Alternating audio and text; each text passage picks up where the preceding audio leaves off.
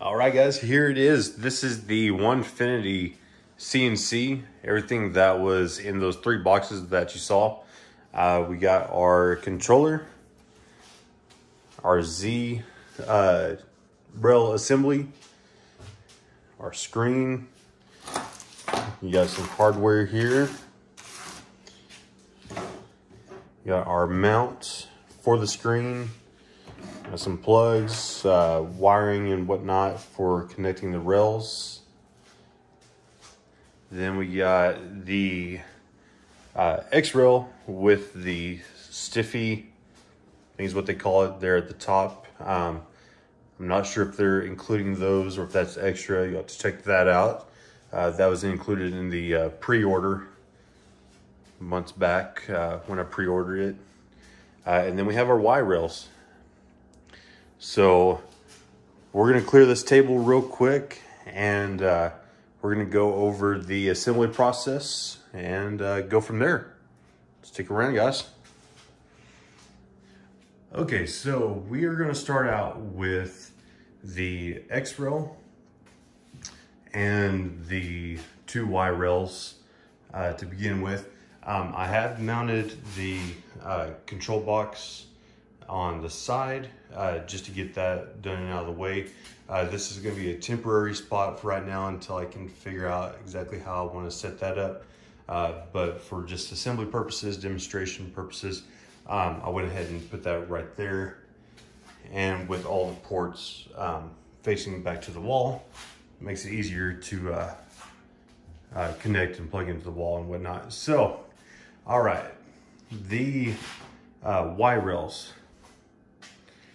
they are identical, so it doesn't matter which side you put them on. So uh, what I had done is space it out. And what they suggest is that you put the X rail on top of it for spacing.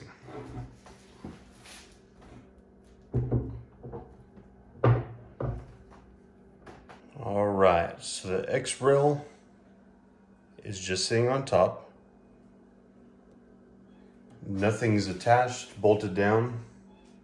All you're doing is just sitting this on top just to get your spacing from left to right, vice versa. What you're gonna do next, once you have your spacing, let me actually backtrack real quick. Uh, if you watch the uh, Onefinity's video, they're gonna suggest to put this rail flush here. Um, I did not want it flush there. What I had done is I took a uh, square and I actually went a couple inches back just to avoid running into the screws uh, that I used to mount the uh, tabletop. Uh, real quick, if you're interested in uh, how I built this tabletop, uh, I'll leave a link in the description on that. So, all right, so what they suggest and instruct, I guess, rather, is to go ahead and screw one screw uh, into the uh, uh, the Y rail, and that gives you a pivot point. So we're gonna do that real quick.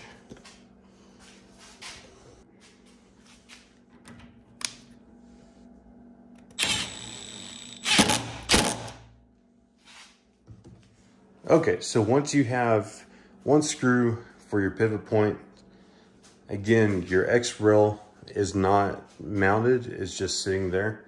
So what we're gonna do now, is we're actually gonna take this X rail off.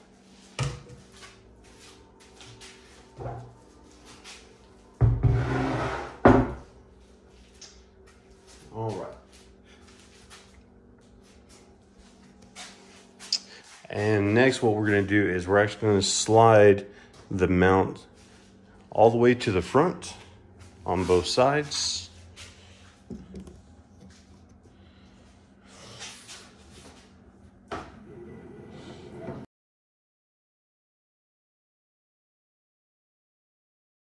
And same way uh, on this side.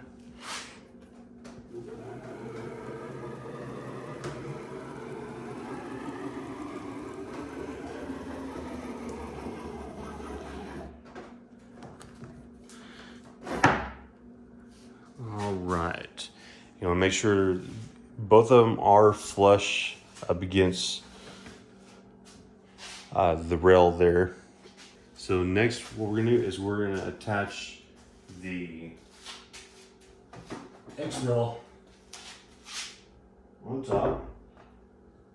And what's nice is everything is labeled. So we have our X-rail mounting bolts.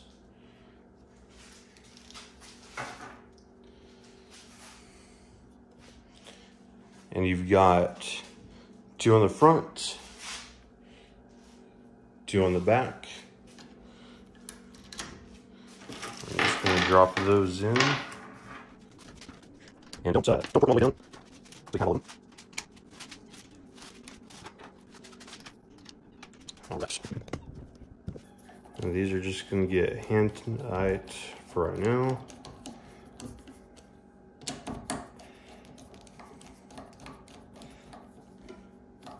Okay, so with all of your bolts uh, for the X rail, get them nice and snug. Don't torque them down too much. What we're gonna do next is we're gonna push the X rail all the way to the back and then we're gonna make sure everything's squared up and then we're gonna go ahead and screw the Y rails uh, down.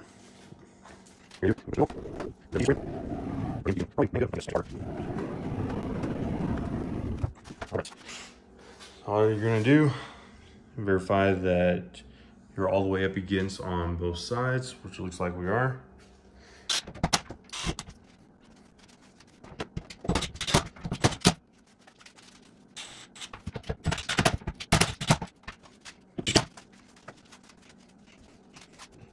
Okay, so we got the back rails screwed down. We're gonna bring this forward.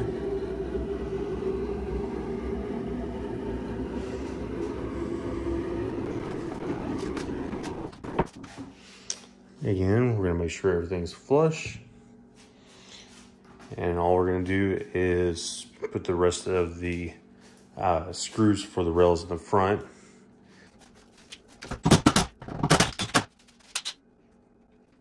So once you have everything screwed down in the front, we're actually gonna push your rail back just a little bit.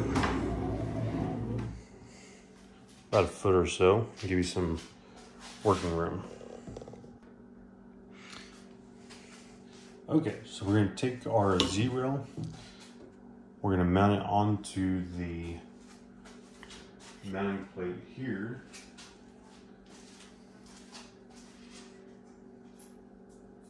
And you can see you have different options for your height. We're actually going to go with the middle option uh, for mounting.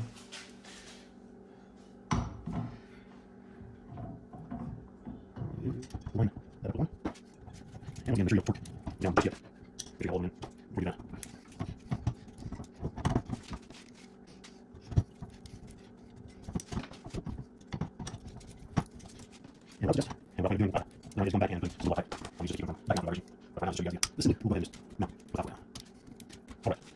Next, what we're gonna do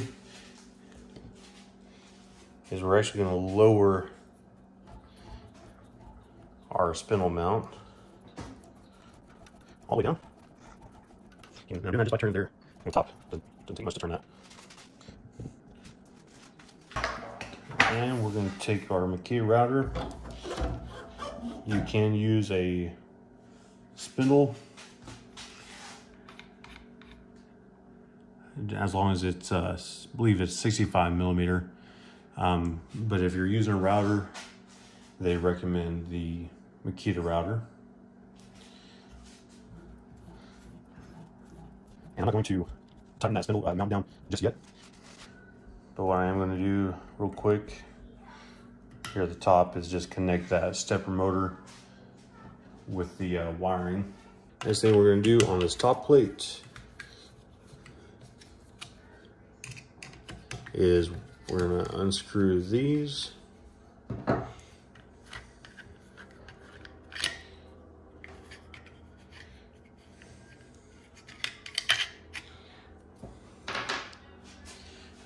we're going to take our router cable on the back side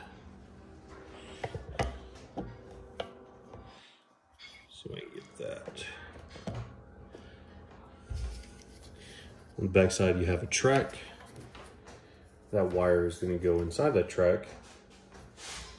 And go ahead and lower your spindle all the way down. The reason for that is that it gives you the maximum travel for your cable to give you an idea of how much slack you need. And then once you do that, then all you have to do ahead and tighten those back. Don't be too tight. Uh, top piece is plastic. And you can play around with the, the slack on that if you need to readjust that. That shouldn't be too difficult to get that done. So, all right, real quick, I'm gonna go ahead and mount the uh, mounting hardware for the screen. Okay,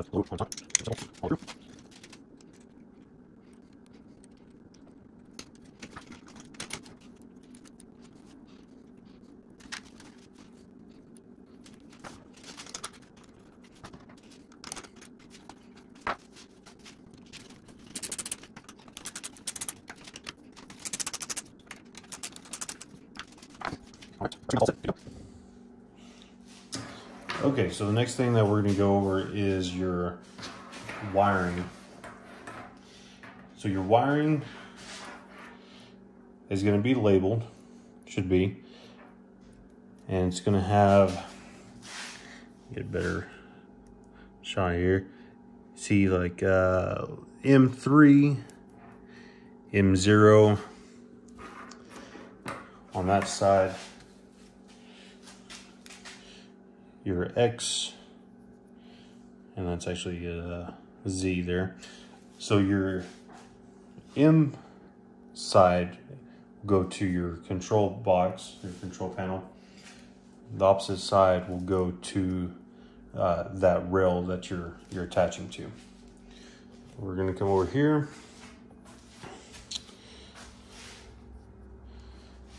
You see right here, on the left side of the machine, you've got your cable coming all the way through. This one's going to be for your Z. So we're going to take and plug in Z. Right below it is going to be for your X. Plug that in. Your next cable, same thing. M1 M2, that's going to go to the control panel. Your Y1 and Y2 will go to the machine. Uh, so these are actually two separate cables. You have a shorter and longer one.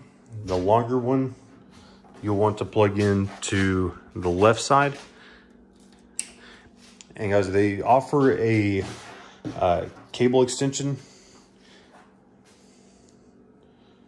So you can purchase those. I'll leave a link in the description. For right now, we're just gonna leave this right here, but later on, uh, I'll have a separate video on the cable management and how we're gonna uh, make all this look a little bit cleaner.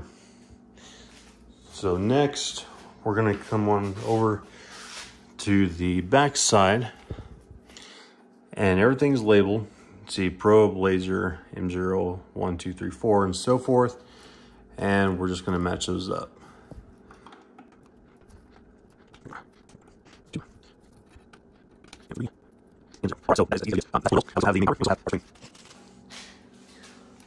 Got your uh, HDMI and USB. That's going to go to the control panel. Opposite end goes to the screen itself. We're gonna come back around here. once again, you have your HDMI and your USB.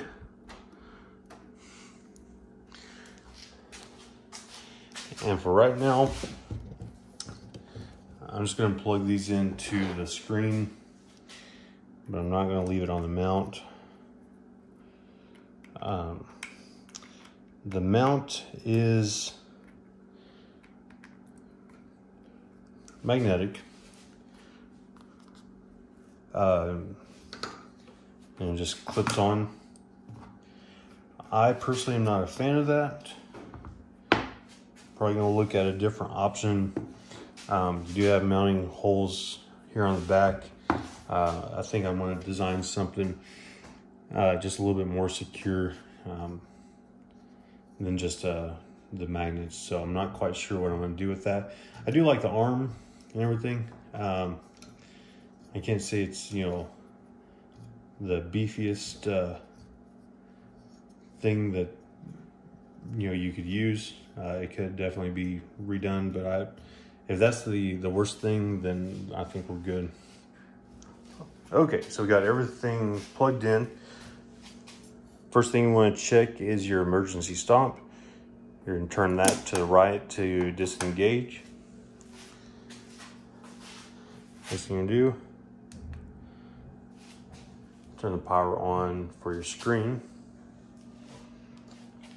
Should have message no signal. Flip the switch on the front.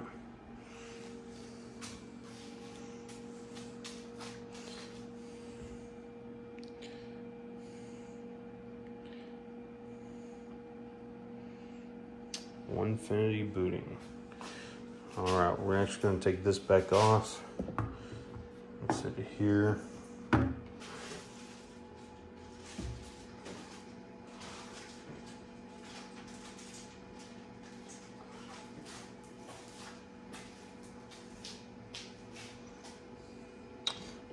All right.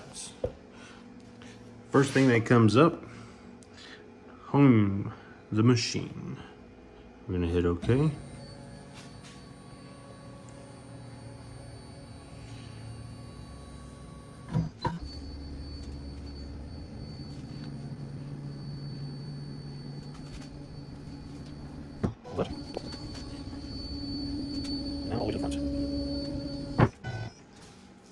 And that is it, guys. We're homed. From what I've read, this is what your screen is supposed to look like. Now, it will say on the Z-axis uh, over until you load a, um, design file, a cut file. Um, guys, uh, the ones that have it, uh, correct me if I'm wrong on that, please. Um, but uh, from what I've read, that that's normal. All right, guys, this is it. This is the Onefinity CNC machine. This is the woodworking edition. Um, man, this looks like an awesome machine.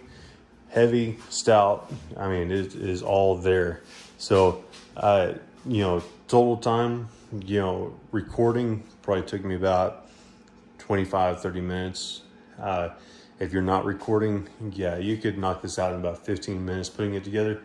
Uh, I had the Shapeoko, Shapeoko machine, uh, the XXL. Uh, that took me all day to put together. so uh, for something like this, that is literally a, a plug and play type setup. Uh, you don't have to run any wires. Uh, they're already, you know, set. You just plug in. the Z-Rail assembly is already assembled. You don't have to do anything there.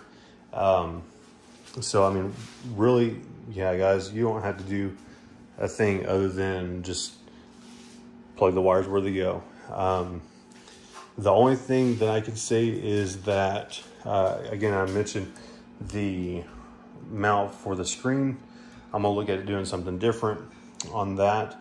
Uh, the other thing you might uh, be wondering about is the wasteboard. Uh, I will have a wasteboard on top of this with some T-track. Uh, so I do plan on doing that. I'll have a separate video for, for that. uh, along with the cable management. Because, uh, yeah, I do want to take care of all of this. Uh, make that look a little bit better. Let's see what else, guys. Um, but yeah, going back to the wasteboard, uh, your other machines uh, that are uh, similar to this, hobbyist machines will have wasteboards. Don't don't let this uh, you know scare you away from purchasing just because it doesn't have a wasteboard with it. Uh, we're gonna have a uh, MDF wasteboard with the T-Track. We'll go over how to um, how to surface it uh, along with the tramming of the router, make sure everything's square and ready to go. And uh, then we'll start cranking out some projects and, uh, you know, making some more videos. So guys, uh, if you like this content, please hit that like button. Uh, go ahead and subscribe. We're gonna have more videos going over this machine. I'll leave a link in the description uh, for this along with their machinist um, model. So you can go over that and uh, y'all can take a look at it for yourself. And uh, yeah, we're gonna have a lot of fun with this machine and we definitely look forward to it. So if you have any questions, leave them in the comments and, uh, and I'll be glad to answer any questions you have. I appreciate you guys. Thank you.